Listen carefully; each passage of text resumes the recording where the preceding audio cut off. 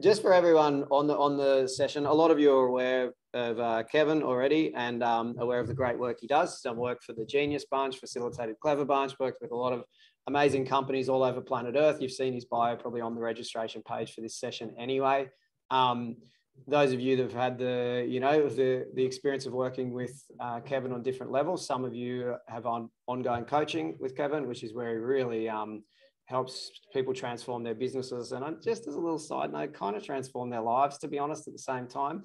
Um, I think uh, Kevin's got a bit of a superpower of not only the business knowledge and skill and marketing and with the numbers side of things, but also, um, you know, a secret little knack of getting people out of their own way in a way as well. So uh, we're very lucky to have this uh, this man with us today, and I'm aware of the time, and I don't want to take it up, so I'm going to hand straight over to you, Kevin, and um, and you roll. I'll, I'll click my video off and pop myself on mute, and um, and let you roll with it and check in at the end to see how we go with questions. But um, just make sure you can, oh, yeah, there we go. You got your screen share set up and rocking. So over to you. Thank Thanks you for, the uh, thank you for a very beautiful introduction, and uh, you said some amazing things about me. But tech is never quite my strong point, so I just want to check that you can see just the slide that says "Stop leaking profit." Give me a thumbs yeah. up or a yes. You go yes. Okay, perfect. Uh, so I'm really excited to be here today, and I always love uh, being in the Basic Bananas community. It's one of my favorite places to uh, to be, and uh, today I'm most excited because I'm talking about one of my favorite topics in business, which is profit. I know a lot of people really focus on revenue. And I think really revenue really makes no difference. What makes a difference is profit. And why would I say that? And it's like really for me, I have children and I like to take care of my children and make sure that they have great opportunities in life. And I can't do that out of my revenue. I can only do that on my profit. So if you agree that profit is uh, is a, the most important thing that we end up with in our business, then type a yes for me in the chat box. All right, that's great. Yvonne uh, is on the same page as me, right? And a few hell yeses as well. So that's superb. Um, now, just so I can guide what level of detail I go into on this uh, presentation, I just like to get a feel for where you're at in terms of your gross revenue. So I'd like you to drop into the chat where you are on your annual basis. Are you doing, say, five figures a year, six figures a year, seven figures a year, or uh, eight plus? And you just type in five, six, seven, eight, just on, on where you're at roughly with your annual revenue right now. So a lot of fives, sixes, uh, heap of sixes. Okay, good. And if there are any eight or nine figure people on here, then that's super cool as well. You're you're also welcome. Okay, look, this this helps. So yeah, some sixes, some sevens, brilliant. That's that's superb.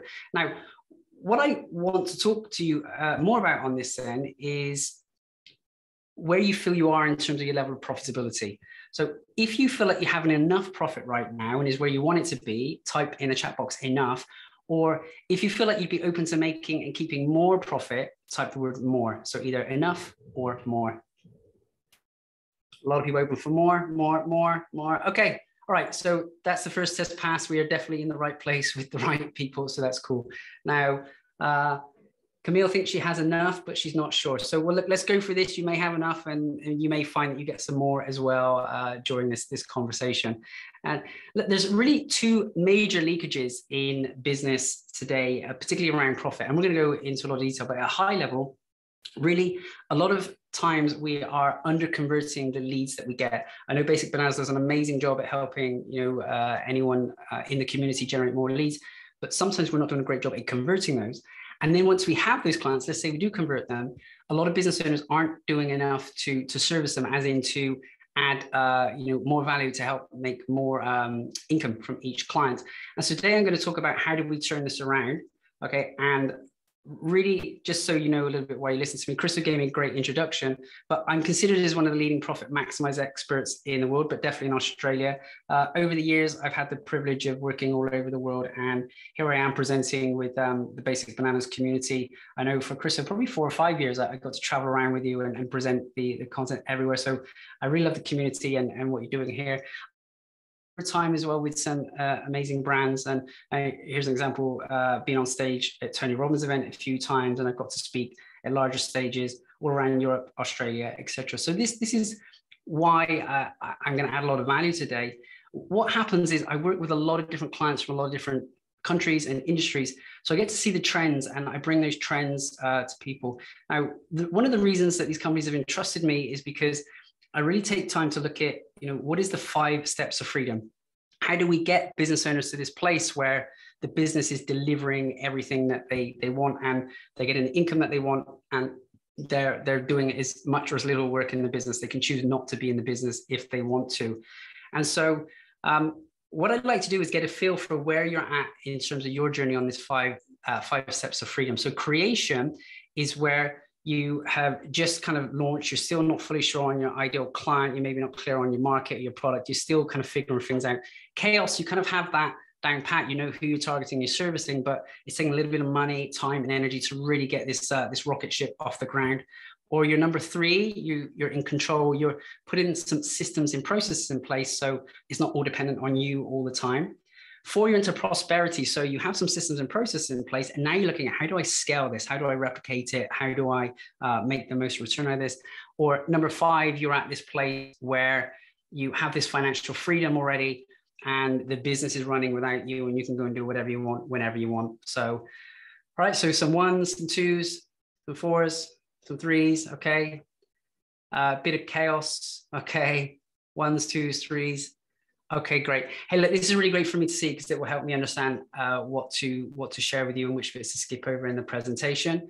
Okay, cool. All right, so uh, that's a really great mix uh, in here. Now, I completely get that on the journey of business, we may go up and down these, and particularly over the last couple of years, it's been a, a shaky ride with the whole COVID situation, and that would have put some of you uh, maybe up or down in these numbers as well. Now, one of the uh, things that I like to share with with um, the business owners I talk to is this scorecard, which is really going to help us just get a very quick assessment on where you are now and where you could be. What are the, the gaps? If we can identify these gaps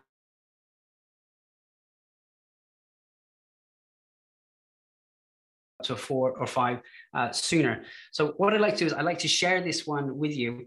And um, I, am gonna I'm gonna share it with you actually at the end because I know what happens when I give people this link. They're so excited to to do it. They end up doing it during the presentation. So I'm gonna give you this link at the end, and it's gonna give you. It will take two or three minutes, and you're gonna get this really clear assessment on you know where you are. Because what, what I find is there are a lot of business owners who make a lot of revenue, but really they're broke. There was a business I reviewed the other day. They were doing nine figures, but they were losing money every year, right? They were going backwards every year. So what I think is most important isn't how much revenue we're generating, but is how much profit we're making. And so this thing is going to help us identify how do we turn your uh, business into the, the, profit maximizing machine.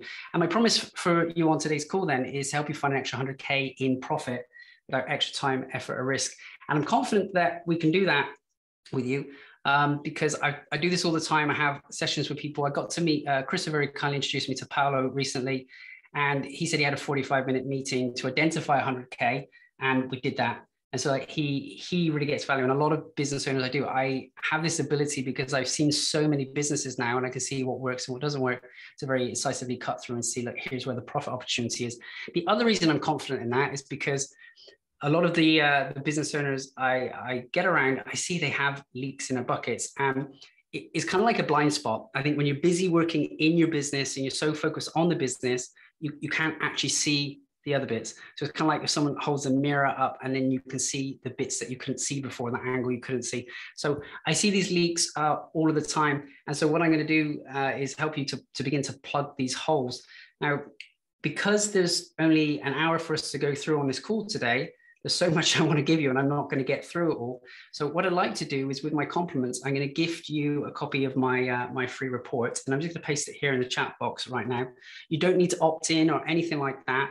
This report is probably some of the best thinking um, that I picked up over the last two decades around how do we maximize the profitability. So it's taken a lot of time, a lot of money to put this resource together. But just please, yeah, take it, use it, read it. You don't need to opt in or anything. That's that's just for you because I'm not going to get through everything today. So let's jump in now and start talking about what I um what I do have time to go through. So if I was to summarize these 125 free and easy to implement money maximizing opportunities that are in the book, then there are seven major profit leaks that are happening in the business. Oops. Somehow I just, there you go. There are seven different leaks that are happening in the business. Number one is we're not attracting enough qualified new leads right? That's number one. We're not getting, and I say qualified leads. Sometimes we can get leads, but they're not the right kind of people. So we've got to attract the right qualified kind of leads. And if we do that well, number two is if we get those leads Are we converting them effectively into clients? I see too many business owners getting these leads and then actually not doing an effective job at turning them into clients because their sales process isn't uh, isn't dialed in the way that it could be. Number three is we're not maximizing the average spend. So when these clients come on board, we're maybe giving them a small offering rather than helping them to uh, spend more money or invest more money with our products and our services. Number four is we're not getting them to buy frequently enough. Some people will come and buy from you once and never again. Some people will come and you know they could be buying from you every month or every week, and they seem to buy sporadically. So are we getting them to purchase as frequently as they should? Number five is we're not managing our expenses effectively. I know some of you are very uh, focused and diligent on your costs and manage your costs. But every time I say to a business owner about, hey, you know, can we manage these costs uh, more tightly or more effectively? The answer is always no. But when we roll up our sleeves and look at it in detail, there's normally some opportunity in there to uh, to get better uh, return or bang for a buck in terms of our expenses. The sixth place where businesses leak money is not managing time effectively. I don't know if you ever had that experience where you get to the end of the day and you wonder what do you what did you do? What was that all about? Um, or you get to the end of the day and it's uh, it's super late. So are we using our time effectively?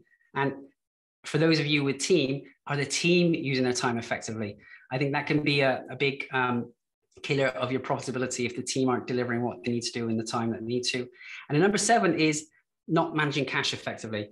Now, the more we can put our cash to work for us, the more we can turn those uh, you know those dollars into more dollars. So if we're if we're keeping our cash tied up in places that aren't uh, yielding a return for us, that's the other big leak. So these are the seven big leaks, and I'm going to get through as many of them as I can in the time that we have on the call. And the question on that is like, where do we start? Where out of all of those seven, which one is the lowest hanging fruit, which is the best place for us to go to? Now, my mentor said to me, the best place to start with any of these things is to start by hiring an expert. And the very first item on this list was in terms of generating more leads.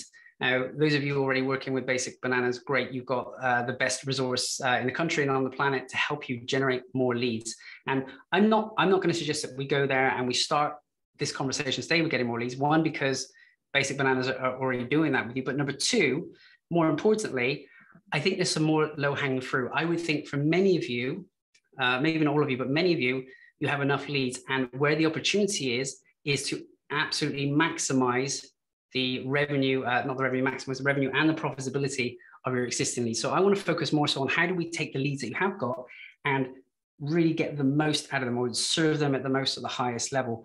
So the first place I want to start is conversion.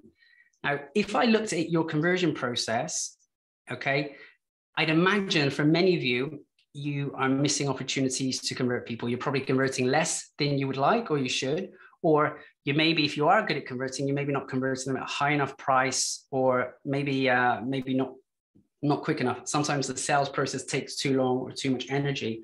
So the first question I'd like to ask of you is, what is your current conversion percentage? So anytime you get a lead, say you get 10 leads, how many of those would convert into uh, you know, into being a client? So at the moment, I wonder if you could just type in the chat box roughly what percentage of the sales conversations do you have convert into clients? And if you don't know, that's completely fine. Just type in DK, don't know. Yeah, don't know. And I like the honesty. So we've got a mixture here then. So one and a half percent, 21%, 25%, 2%. Okay. Don't know, 30%, 2%, 5, 20, Okay. Uh, oh, Camille, you have two businesses, so 60% and 0%. Okay. Tina, absolute machine, 80%. That's uh, that's a pretty good result there, Tina. Now, this is this is the very reason I don't always suggest that we start with leads because let's just imagine some of us down here have what 5, 10, 15% conversion. Uh, let's just say those who have say 10% conversion. That means we've got to get 10 leads through the door just to convert one of them. Now, if we could focus on increasing that conversion first, then that means every lead that we put through, we're, we're going to get more return from it. So conversion is going to be a very important place for us then, uh, with the exception of Tina. Tina, with 80% conversion, we may need to have a conversation around your prices. Maybe there's some uh, some opportunity for us to push your prices up. And I don't mind then even if the conversion drops a little bit and you're making more money from that. But we can talk about that a little bit later in the next slide. I want to talk through with you an example of this then. So I was working with a kitchen installer, guy based out of Brisbane.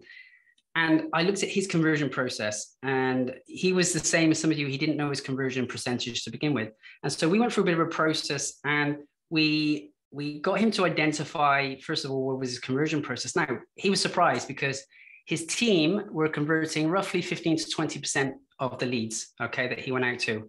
And has, as he'd been the owner for 30 years, I asked him what his conversion was. And he said if he went out to do the calls, he would get 80%.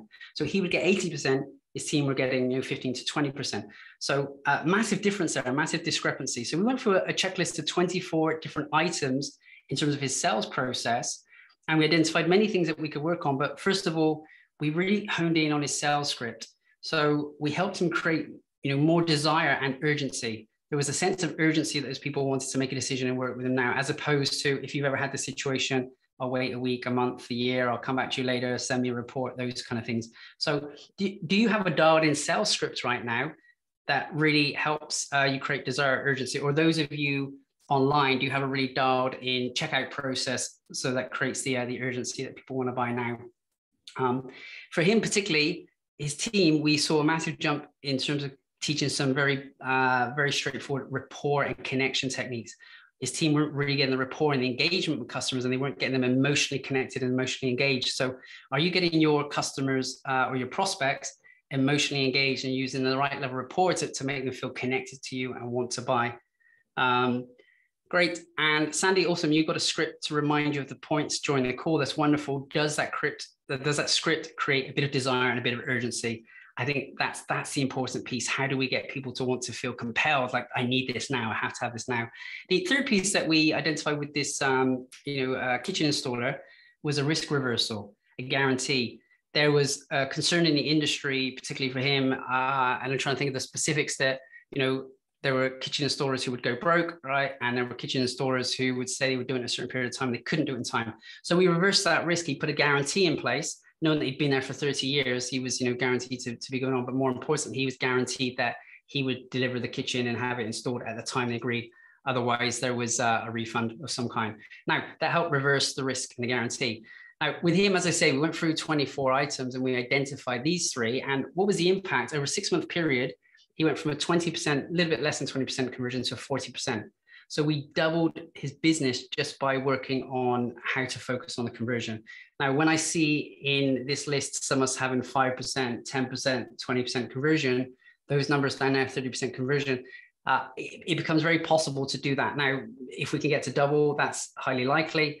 Um, or dependent on your business and the specifics of your business, if we can push that up more, then I think that's, you know, there's a big opportunity there. So I have a question for you. What would it be worth uh, to your business if you doubled your conversion? And you don't necessarily need to write that in the chat box, but have a think about it. What would be worth if we could eat up your conversion that way? Now, I don't know the specifics of each of your businesses. Would it be the three things that we've identified for him, or would it be some other things? Um, we would need to, to check through that checklist and identify what those are for you. So, what would it be worth to double the conversion in your business? Now, here's another example then of uh, an awesome member that I work with.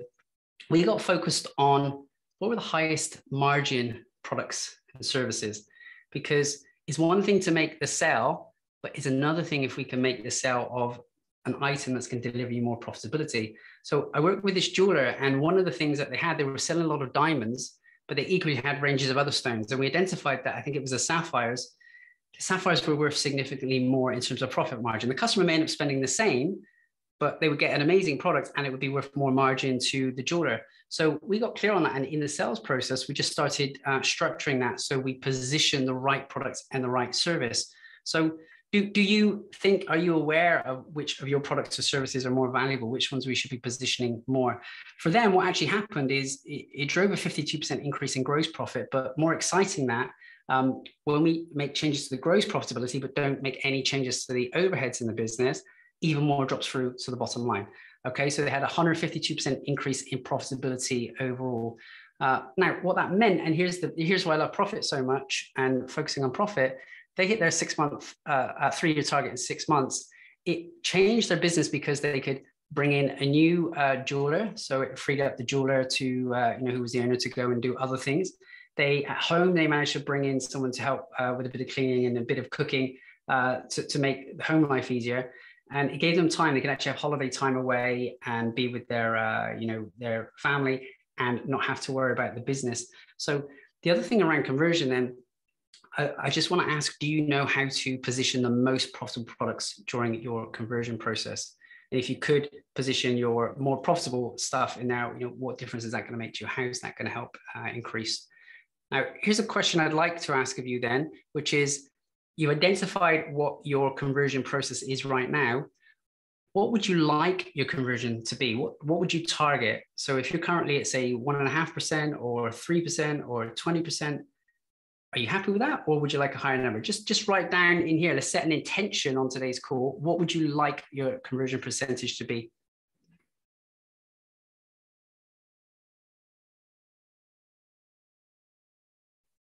Have I lost everyone? Oh no, here he is, it's coming through.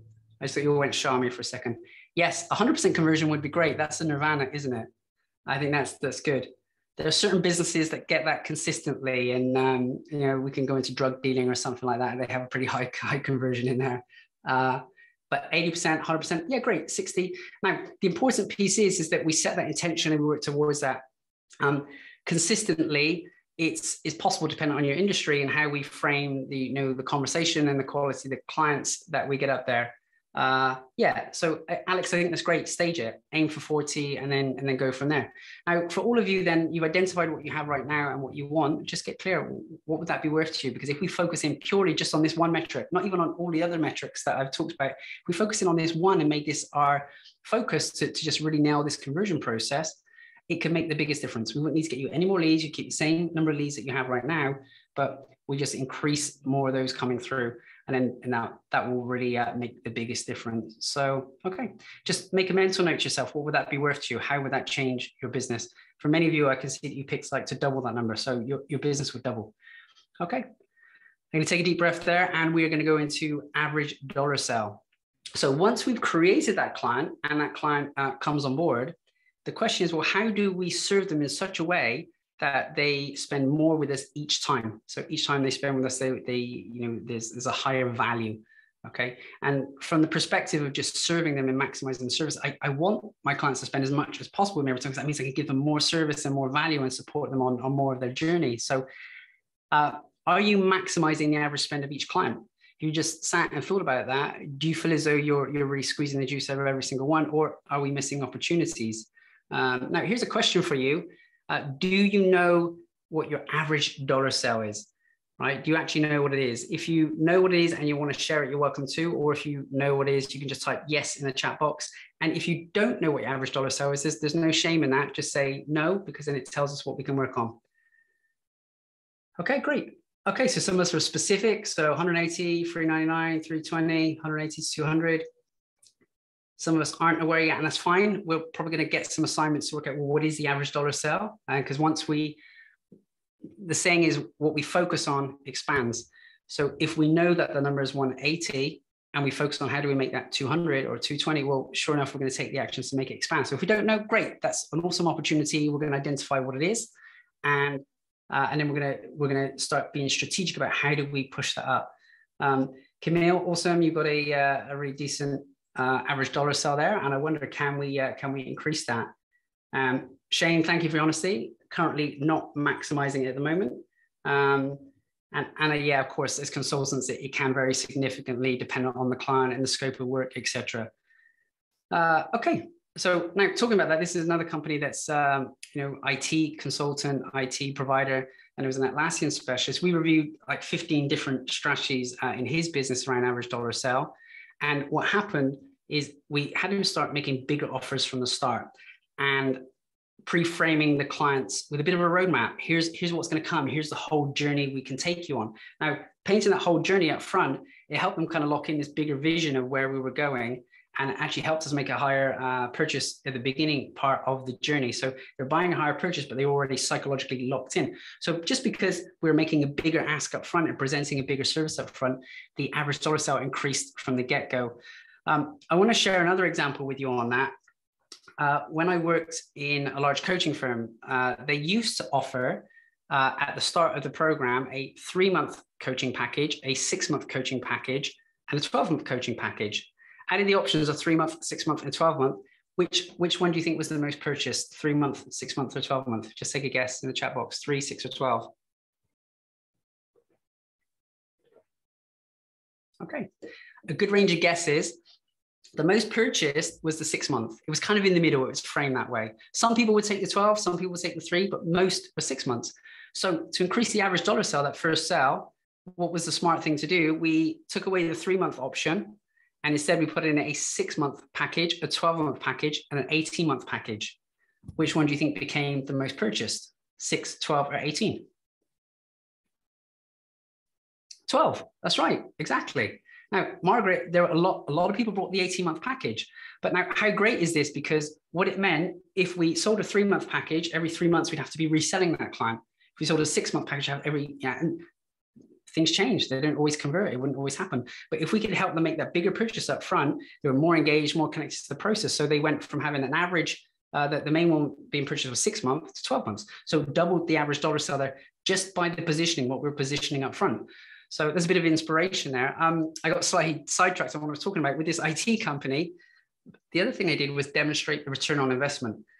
Being able to put something in front of your client or your prospect that helps them uh, really see the benefits. Now, in their case, it was demonstrating the return on investment. Their IT solution would help the company save save time, significant time, which meant highly uh, productive, higher return, etc. for them. So, if you have the ability to demonstrate a return with your product, then you know, let's make sure that we have that in there. Now, that's not relevant for all of you because I know you don't uh, sell products in that way, but uh, for some of you, develop uh, the ROI. Now, for this IT company, that boosted their revenue one and a half times, but the profit went up you know, 8.9 times. So this average dollar sale can be a, a small area we can leverage and focus on that's going to have a big impact in terms of the profitability. Okay, here's another really important question for you. When was the last time you increased your prices? You can answer this in chat box if you like. When was the last time you increased your prices? Yvonne, very recently. I see a few nevers in there. This week, congratulations, that's great. It's always nice to give yourself a pay rise. So, okay, there's quite a few from this year, which is good. I don't always see that. A lot of people say a long time ago, five years ago. Yeah, Shauna, I see that five years ago. Um, okay, yesterday, never. Right, hey, I'm seeing a real, real mix here. For those of you who have put your price up recently, you know, great job. Um, and Shane, we are going to talk about that. You talk about discounting in a minute. I want to share some scary statistics with you around discounting. Uh, Joanna, this year after 20 years, congratulations. Uh, you just give yourself a round of applause. I think uh, after 20 years and you pulled, you know, pulled the pin on that and, and put them up, that's brilliant. Um, I was speaking to a former Genius Bunch member uh, this week and he runs a, a, an awesome business. And he said the same thing. Like I'd spoken to him about this topic maybe five years ago about price increases. And anyway, he hadn't, he'd felt that the market was too competitive, couldn't put his prices up. Anyway, um, in this last couple of months, he's gone from uh, equivalent of $60 an hour to $75 an hour. Right. And so what are we talking about there? I think that's like a 20% or 25%, 25% increase.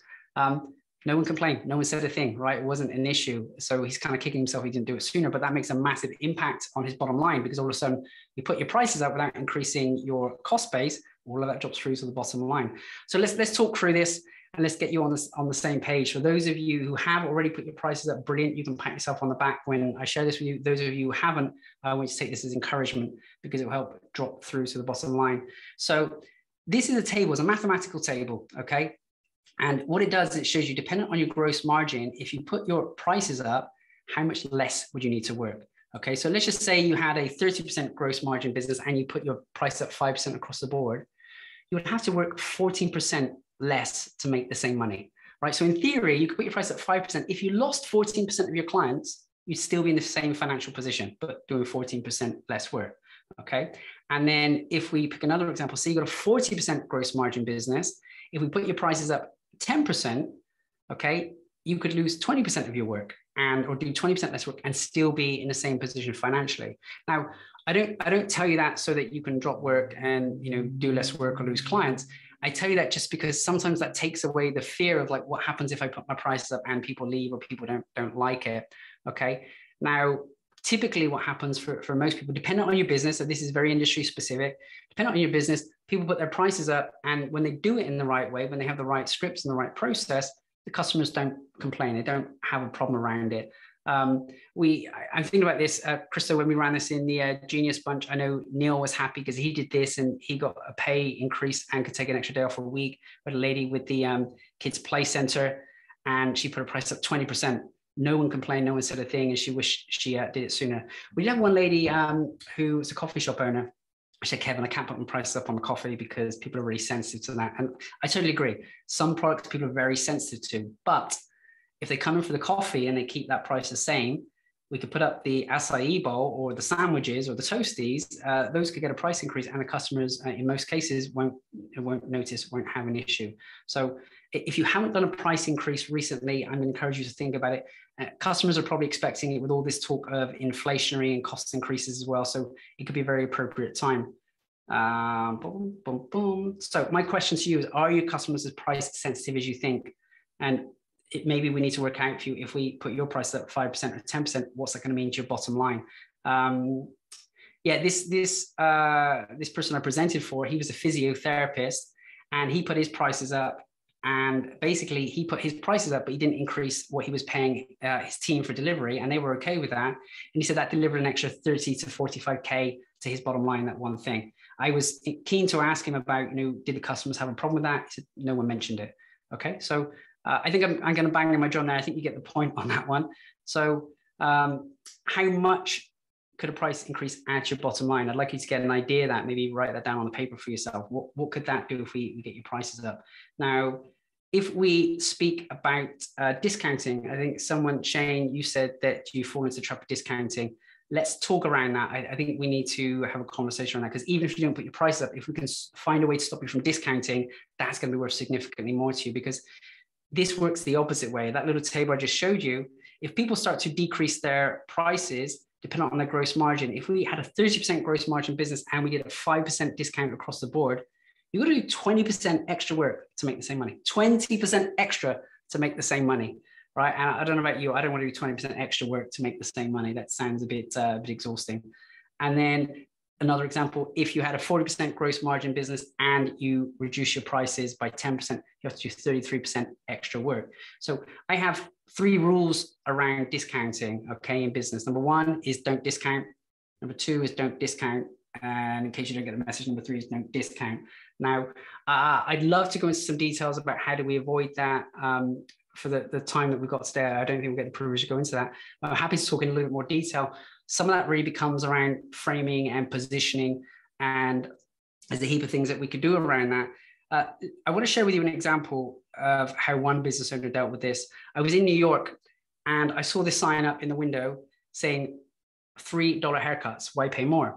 And i was like i was super intrigued and there was a queue around the corner for this right? Three dollar haircuts i couldn't understand how they could do three dollar haircuts but anyway they did they had a big queue and it was hairdressers across the road and the hair, hairdressing uh, costs were similar price. I know typically $50 around there. And I said, man, what, what are you going to do? Their prices are so low. Are you going to reduce your prices to compete? And he said, no. Here's what I'm going to do. And he gets out a board and he writes on the board and he sticks it in the window. And the board says, we fix $3 haircuts. Right. So the key thing about that is the positioning right? He was positioning, look, they may be the low cost producer, but we're premium, we're quality. So something about how do we position ourselves and all of the great work uh, you do in Basic Bananas with positioning and branding can really help with that. So if you are discounting, let's find an alternative to discounting. Okay. I'm going to keep pushing on with the average dollar sell and I just want to squeeze in as much as we can in the time we've got. So do you price anchor? Now, I know this is a concept that gets shared in the Basic Bananas community. And one of the things that I've noticed over the years is is one thing if we share the concept, but it's another thing to make sure it's implemented. And are we implemented? In uh, a lot of the clients that I work with, um, with the coaching and implementation, we're really making sure we take the concepts that you've learned in the Basic Bananas program and really implement them. So, do you have a price anchor, and are you using it? And so, for those of you, uh, if you're on the call and you're not familiar with a price anchor, the idea is that over time, um, people get more trust in you, so they're more likely to invest or spend more money with you. And so if we can set up a price anchor, we can uh, set the frame of like this is my biggest and my best thing. This is the best service i can get. And that could be very expensive. By comparison all the products and services underneath look very uh, affordable in comparison. So psychologically if you've ever studied any uh, anything around psychology people will look at that and it's framed against the highest price so it almost seems better. One quick example for you i was working with um, an artist and in his shop his art pieces ranged anywhere from 2000 to $5000 and we just had the conversation. And so they range from two to five thousand. The average price was three to four thousand that people would buy.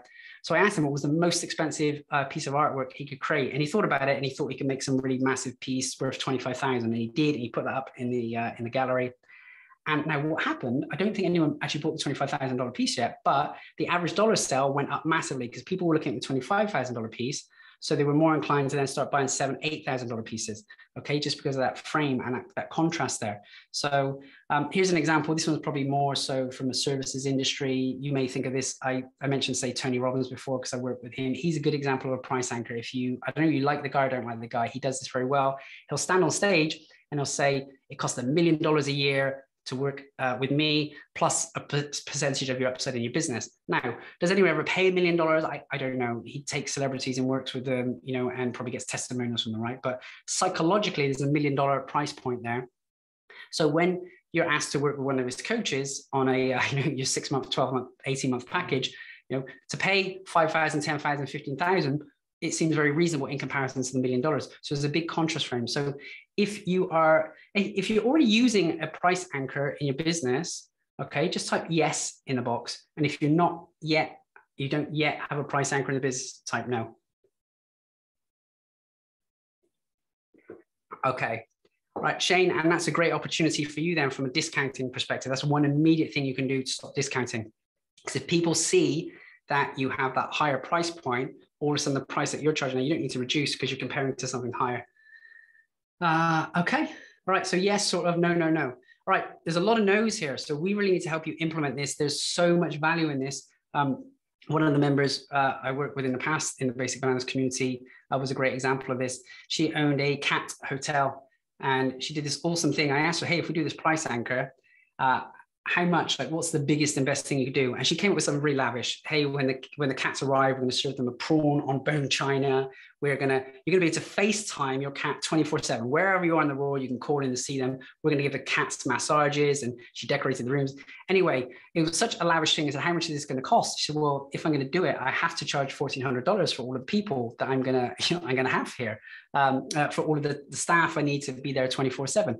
And so, sure enough, she did that. And we wrote a press release, or she put together a press release, and it, it got picked up. Um, it went all across, I think, Fairfax, it ended up in a lot of magazines and publications. I think people were talking about on the radio about this crazy $1,400 a night. Now, did she sell a $1,400 a night uh, cat hotel accommodation?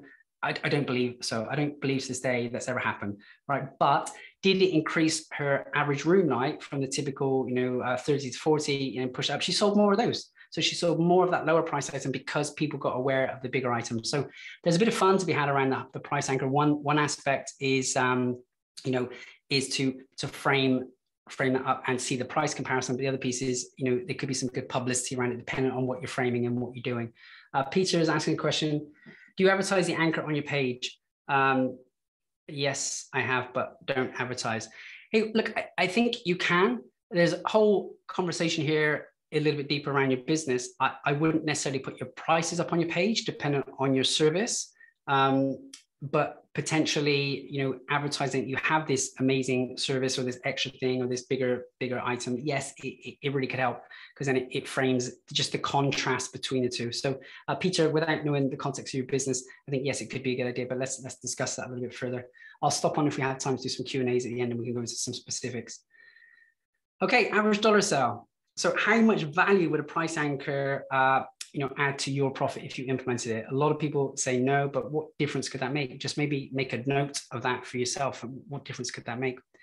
Right i'm going to pause on average dollar sale. I think there's so many more we can go to and i've given you a sprinkling of you know, some of the ones that i think you could implement immediately. Um, but there's there's so many more on there. But let's jump into transactions just to say that we can get across all of these.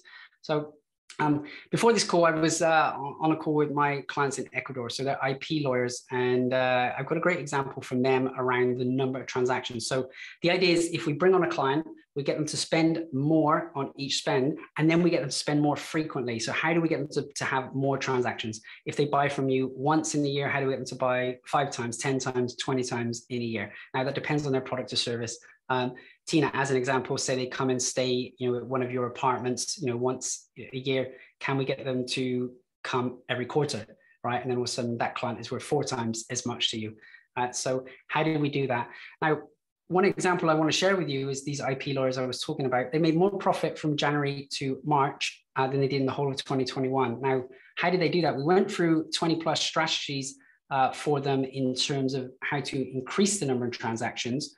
And we identified for them, one of them was really super simple and it made a big difference. It was automated reminders for renewals. They have significant amount of um, IP I, I, IP, I don't even see uh, IP certificates or IP. Um, if anyone's a lawyer on here, help me out. They have significant amount of transactions that every year needs to be renewed, and they were relying on the team to do it manually. And sometimes the team would do it, or they wouldn't do it well.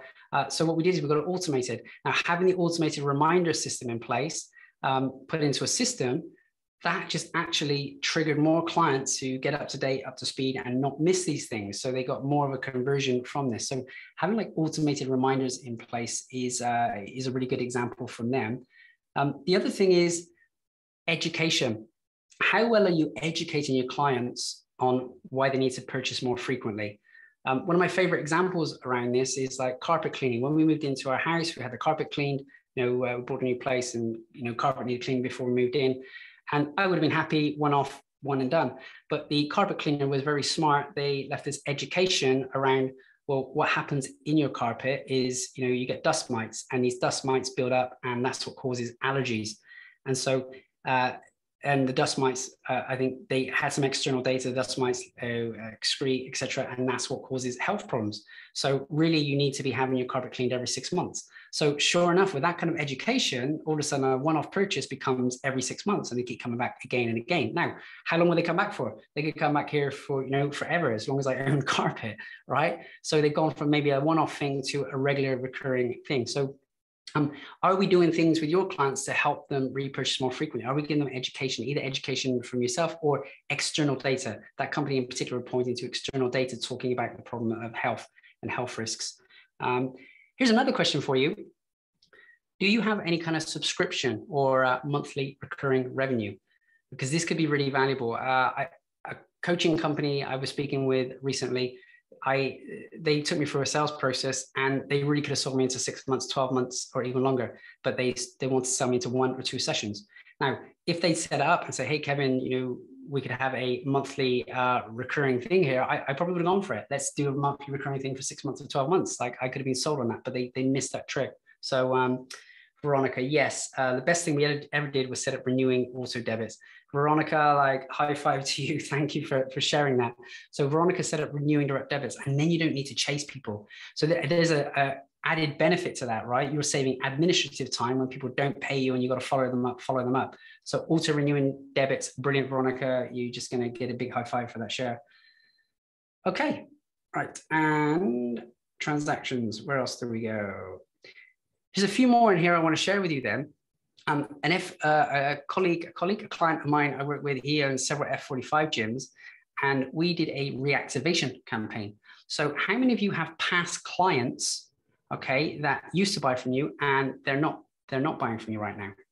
Okay, how many of them um, could be buying from you again if you reactivated them or reminded them?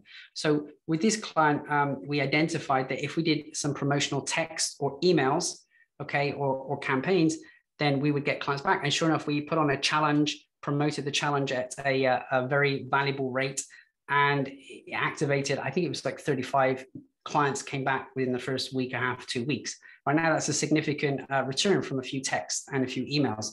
So either past clients we need to be thinking about that we can get back. Um, and here's one example, and this isn't from business, but I think we can borrow things from outside of business and bring them in. The Spanish, uh, I think it was the Spanish government, they were concerned that they weren't getting enough people being organ donors because people had to opt in to be an organ donor. So they changed the law or the rules uh, so that everyone was going to be an organ donor unless they opted out. So of course their uptake grew massively, um, and you'll see this. I think Apple are great at doing this. If I buy, uh, you know, uh, a subscription or an app from them, uh, that app is going to recharge me every year, right? And, you know, uh, by default, I don't need to go and say, yeah, I want that gain. I don't want that auto renew. So is there any opportunity for auto renew? Uh, Sandy, uh, you're worried about the additional workload. Yeah, okay, Sandy, I think that's that's really important. And there's a psychological piece here that we need to be mindful of. We don't want to put you in a situation where there's too much workload and you can't handle it. But let's work out the business model here. Is there a way that we can get other people to deliver some of this work for you uh, in a way that's affordable? Or if you're going to get too much work, let's go back to this price conversation and we pump your prices up to a point where you know you can serve fewer people and uh, actually earn more money anyway. So there's a, f- a few conversations around there.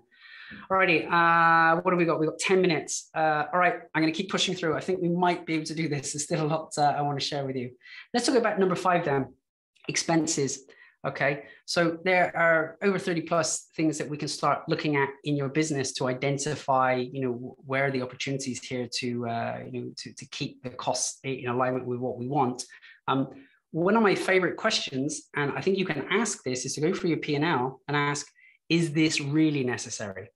Right, and the reason I've got a picture of these airplanes uh, on a carrier ship here is because uh, during the war, before airplanes had the ability to land on ships, like they, they needed to work out a way how do they get this airplane to land on a ship and take off from a ship. Now, of course, the problem with the ship is a very short runway. So back then, the airplanes were very heavy, and they had to identify how do we strip out all of the things that are not necessary. So they went for this plane: is this necessary? Passenger seat don't need that. You know, these bolts don't need that, and they made the plane as light as possible so it could take off from the runway. So I want to ask you in your business: is this really necessary?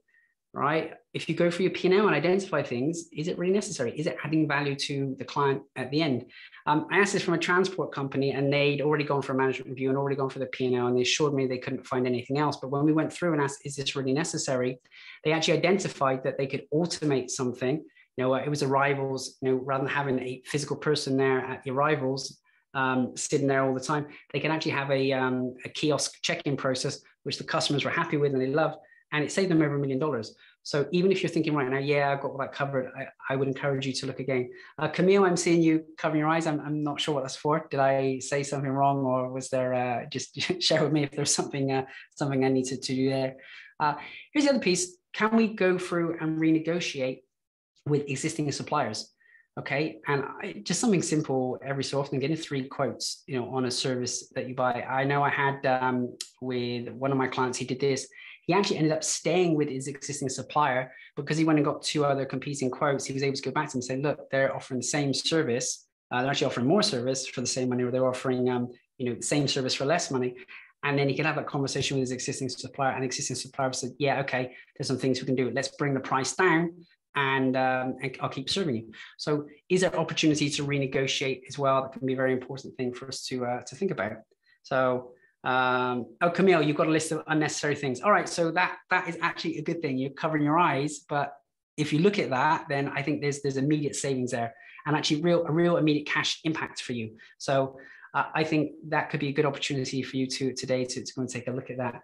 Um, renegotiating three quotes. Okay, that's good. Yeah, renegotiate the three quotes. Um, for those of you who do you know, you, do you look at your accounts on a monthly basis? Are you getting reports on a regular basis? And are you reviewing them against your targets? This one small thing, this seems very simple, but actually, again and again, I, I've seen this be the very driver that changes businesses. Um, what you focus on expands. So if you're looking at P&L once a month, uh, in comparison to where you want it to be, then you know what's going on. And Shauna, is, is okay if you don't, but then I think if you can put focus on that, then uh, then it will really make a difference. Now, typically, a lot of business owners um, wait until the end of the year when the accountant provides a tax return.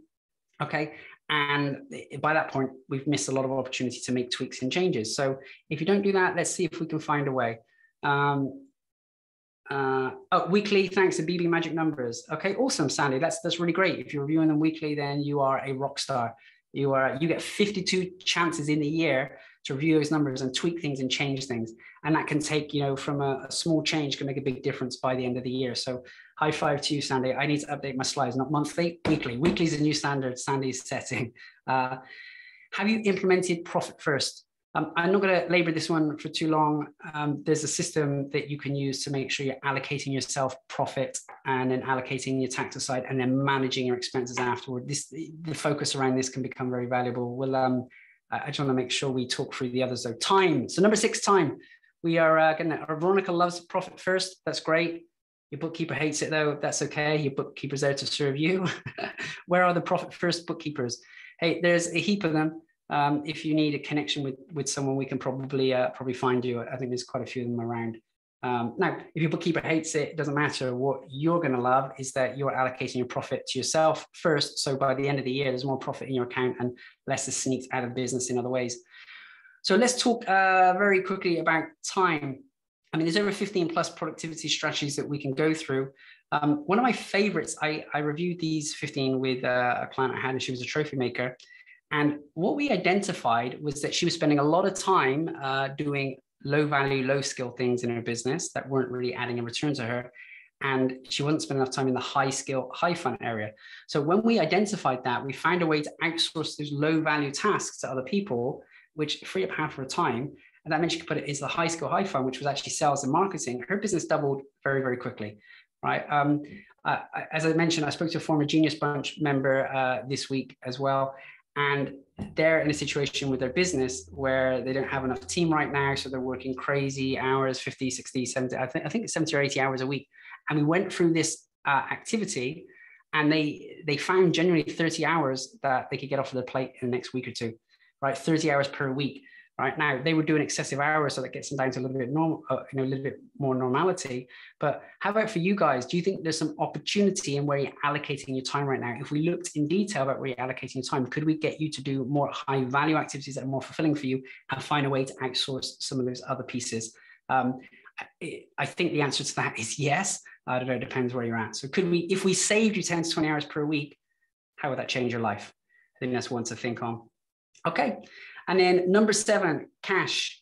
Uh, do you know your working capital cycle in days? Now, if you don't know what that is or what that means, that's okay. That's a no. That means we need to do some work on this. Okay. So um, if we look at Amazon, Amazon are a great example is they have a, a positive working cash cycle. So what that means is they get paid from their customers. So they have all the money sat in the bank, right?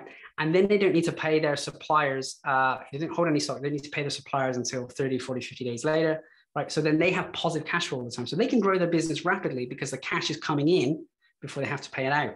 Now, that doesn't seem to work necessarily for a lot of uh, a lot of the businesses that I, I check in and work with because typically they have to go and buy the stock and have the money of the stock, and then they sell it to their customer, and then the customer doesn't pay uh, until you know 20, 30, 40 days later, right? And you know so then they're out of that money for 30 40 50 days. So one of the important things that we can do in your business is if we can get that cash flow to be positive or a shorter working capital size you've got more cash in your business you can reinvest it to generate return quicker. So if you don't know what your working capital cycle is in days i think that's something valuable that will be very very valuable for us to work out for you. And how much better would your business be if all of a sudden you can have positive cash flow, get people paying in advance or paying early, then then that can help. Now, I appreciate some of you will be thinking that can't work in your business or your model. I've heard that again and again, and I've gone into industries and, and found examples, you know, where it possibly is. So, uh, okay, all right. So just to recap them, we have uh, I've, I've, gone through. I'm, I'm, amazed I've got there. I didn't think I was going to get there. We've gone through all seven of these profit leaks. And I think in every one of those, there's some opportunity for all of us. So if you feel as though you found some opportunity to make some additional profit out of these seven, just type a yes for me into the chat box.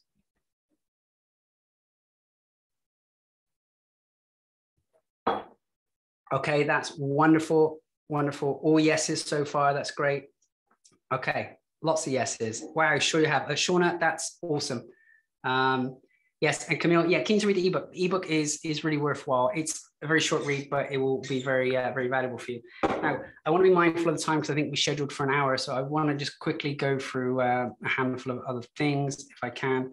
Um, I'm going to skip through this one because we don't necessarily have the time to do it. What I was going to do is share a demonstration with you of what happens if we focus on. I've got six levers here. If we just focus on six levers and give them a five percent increase across the board, what happens to the numbers just to be mindful of time, I won't go through this, but the, the, the message I was going to give you is a small increase. If we focus on these small areas and get a 5% increase in each of the areas, it can really compound. In this example that um, I'm sharing with you, we, we changed 5% in on leads, on conversion, on average dollar sale, on transactions, and in cost of sales and in expenses. We got a 5% improvement in each of those. Now in this business, it doubled right, it actually got a hundred thousand dollar increase in there. So if we can focus in on that um, and just small tweaks and changes to each of these levers, it's going to make a massive difference at the other end. So I'll, I'll cut that short. Now, I did promise you I would give you this scorecard. Um, here is the link for you. I'm going to paste that into the chat box. Um, he says optimistically. So you grab a copy of that link from the chat box. If you go through that, that's going to give you the opportunity to just assess where, where are the gaps. We picked up on a handful of them in the call today, but this is going to show you what you're doing well at the moment and where your other gaps are. Um, I'm looking forward to seeing what your scores are. I think there's some great opportunities. So click that one, do that one after the call. And now I did mention at the beginning, um, I don't have a chance to go for everything in detail here and serve you know you everything or specifics on your business. But if you are interested in actually uh, wanting to focus on this in your business and optimize your business, maximize profitability, uh, and to, you know, to, to, help grow that, then uh, I'd be happy to have a conversation with you. Um, I, oops, I can click the link. There you go. I'm happy to share with you uh, the opportunity to, to go through this specifically with you into your business and find the opportunities. Now, I appreciate we've got 40 something attendees on here, and I think a few people have recorded. So I, I may need to, to qualify that. I, I, don't necessarily want to go and spend, uh, you know, another 40 plus hours uh, serving this. It, I, I think I'd like to qualify that. If you are in a position where you think, actually, I want to hone in on this and really improve my business, I would potentially uh, like some support um, in implementing these things, then I'd be happy to uh, to have a complimentary conversation with you. I think if we sit down and go through these things specifically for your business, we could definitely uh, identify you a you know 100k of profit opportunity in your business uh, for 45 minutes. So um, I will just I'll paste that link in the chat box, or maybe have Christo could kindly share that uh, afterwards. I'm going to pause there. I know some of you may need to run through right on time, but um, I'd love for you, if you're still here, just to type in the chat box what's the i say the top three insights. What's the number one insight? If there's one key thing that you learned today that's going to be valuable for you that you can take away and use what would that be? So just type in chat box what's like the number one thing and the most important thing for you?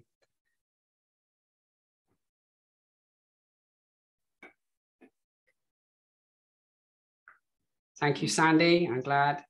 Small changes can have big results. I've yeah don't discount. those links in there as well. The um the calendly links in the chat. So those of you um, you'll see a lot of comments coming in. So to grab the link, it is already in there, and we can of course share it in a follow up afterwards as well.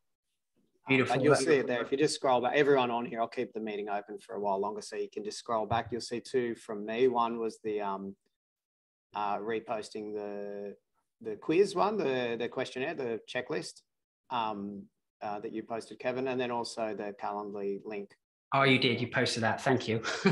I, I, didn't. I didn't save it here to copy it, so that's great. Uh, okay. Yeah. Perfect. That's great.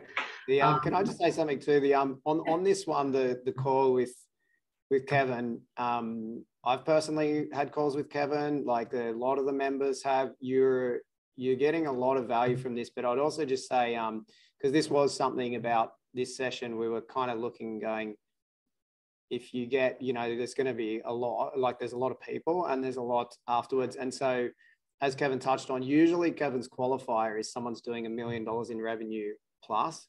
Um, and what we said is let's let's pull it down to make it available because obviously there's a lot of in the basic bananas community a lot of keen people that you might only be doing a hundred grand a year, but you know if you can turn it into more profit, you can have a very good lifestyle. You know, $200,000 business and whether it's, you know, there's plenty of $10 million businesses we work with that don't make as much as someone doing profit as much. And, um, and so having Kevin to be available for you guys and we're like, what do you charge? You know, the, the fee would be sort of too high. So he's generous, gener- very generously said, okay, it'll be a, um, you know, a complimentary, uh, that, that session. So once again, yeah, just to, just to reinforce the fact that, you know, you are keen to, uh, to make a goer because obviously respectful of um of Kevin's time as well.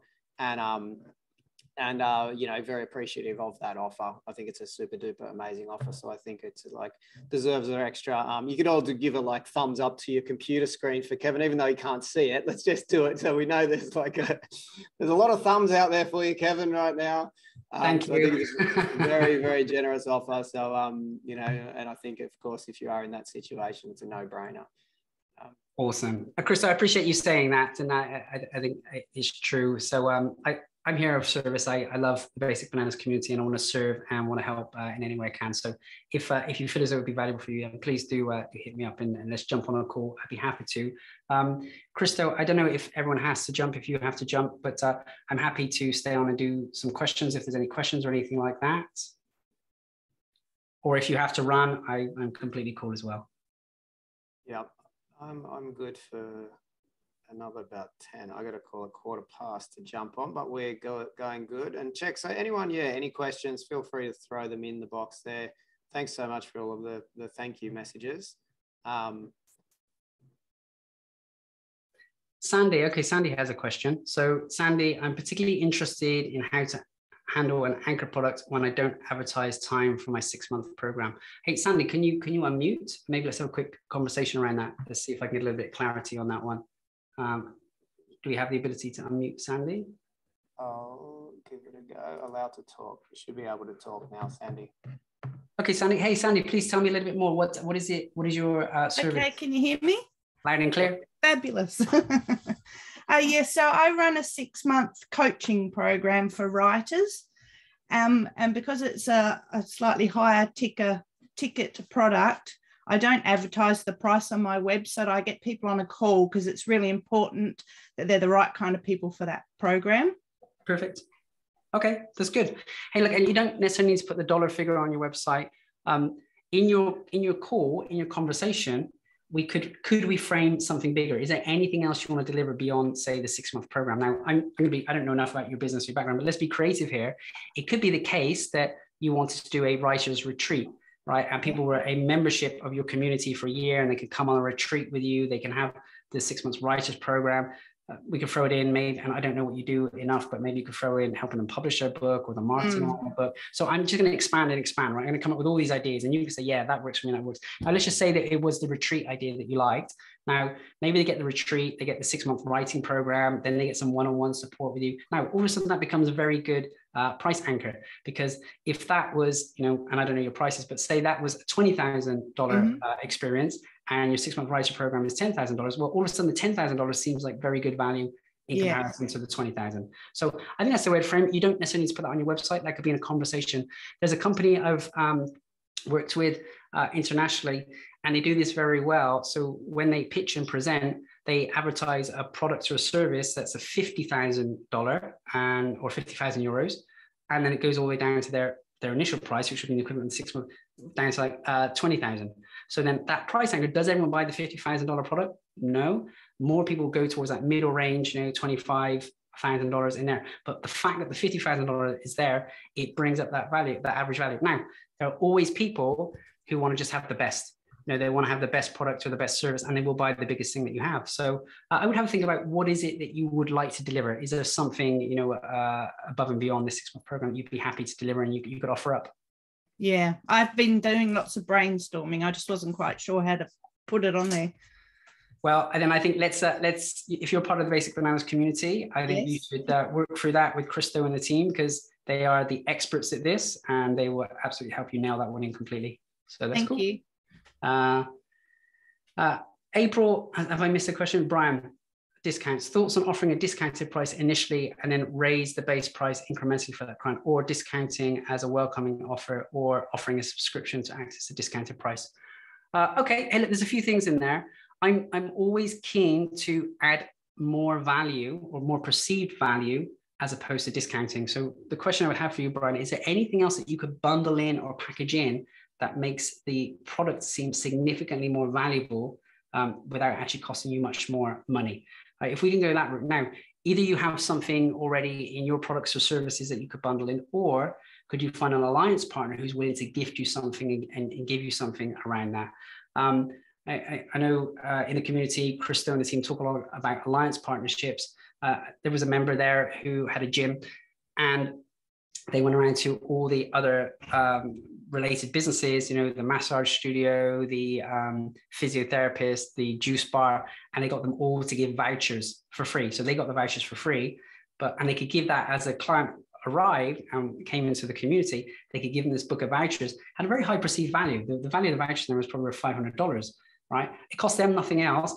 And they were happy to give that to their clients and their clients can go around. And so sometimes um, adding, increasing the perceived value either via your own stuff or other people's stuff could be a, uh, a great opportunity as opposed to discounting. So, Brian, I don't know if I fully answered your question, uh, but maybe you can answer. Now, Christo, I know you're going to jump in any second, so maybe we'll squeeze in one more question. Uh, April, how do you deal with scarcity without discounting? I have an online course. Um, okay, well, scarcity could be time. Uh, I've had an online course. It was a coaching program, and they got me all excited about this program. And they said it's only available until this date, right? And so, of course, as the time got closer, right, I felt crunch. Like if I don't buy it now, then I don't get it, right? I, I'm, I'm going to miss out. So we could have some scarcity around there. Um, potentially, April, the other thing with your scarcity, you're doing an online course. Do you have any component of one-on-one time in there? Because that could be the other piece of scarcity. It's like, hey, you can get this course for this price up to this date, and for the first you know, number of people, I'm going to give an extra group training or an extra one-on-one program or something like that. So, is there scarcity, genuine scarcity on your time or something of that nature? Um, now, Christo, I know you've got to jump for uh, for your next call, so I think we've covered off the questions that I've seen. So, uh, if there, yeah, if there are other questions, we could, uh, you know, leave you to it. I'm sure they'll ask you questions all day. You'll be here, Kevin. I'm sure you. I appreciate that. I'm sure we could we could keep you here all day with um, questions. I personally could um, at the same time. Um, you know, there's a a, a, lot we could ask, but um, I think so much value from today. This has been huge. And um, what I'm just doing is messaging team on my end with those links, the ebook link, um, the I called it a quiz, but the the questionnaire like health check kind of uh, link, the profit um, check the that you shared, and also um, your link for the for that session. So uh, the Calendly link. So, uh, so that'll get emailed through to everyone. If anyone's lost it in the chat, I know there's a lot of comments. So um, uh, but those links are there in the chat, but they'll disappear once we close the session off. So we'll also send an email. Denise will email from our team.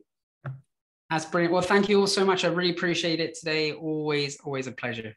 So I look forward to uh, hopefully connecting with a few of you soon and we can get into the detail of, of your numbers and your business. Awesome.